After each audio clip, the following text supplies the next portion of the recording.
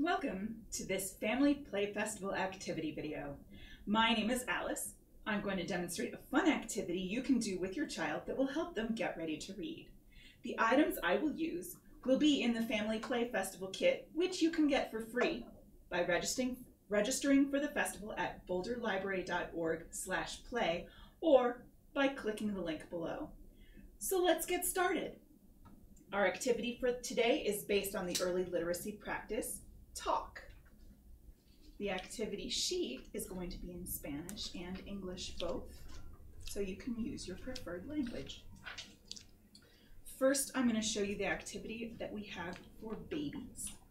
So when you're talking with babies, it's best to have objects that or or experiences that repeat a lot. So this is a set of cups. You can use the cups that come in the kit, or you can also do this with any cups from your, your house. So look at this, we've got some cups. Your child would be able to explore them with their fingers and with their mouth, because babies learn a lot through their mouth. So look, we have these cups. You can talk about them by size. Oh look, this one is the biggest cup. Can it fit inside this one? Huh. Can this little cup fit inside the big cup?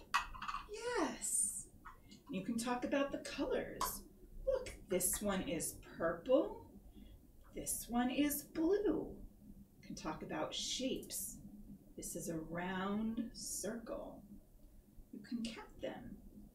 One, two, three, four, five. And while the child is touching them and moving them, they're also getting better with their finger skills. Their motor skills are great for writing later. So for toddlers and preschoolers, I have another activity. This is a string telephone. So you have two cups and a string, and the toothpick is going to help make the string telephone. So you poke a hole with the toothpick, and then what I did was I made a little knot in the end of the string. You just make a loop like this and push the end through and make it tight. And that's easier to push through, so you can poke I put the knot right there and I'm poking it right through with the toothpick. All right. Then I pull it and I'm going to make a big knot. Really big knot. So that it doesn't go out through that hole I just made. So I make a knot like three times. All right. Oop, oh, darn it. It went right through. Now that happens. So I thought of something. You can break the toothpick in half and poke it right through under the knot. And that will keep it from going all the way through. So you do that with the other cup as well. And then, ooh, listen to that noise.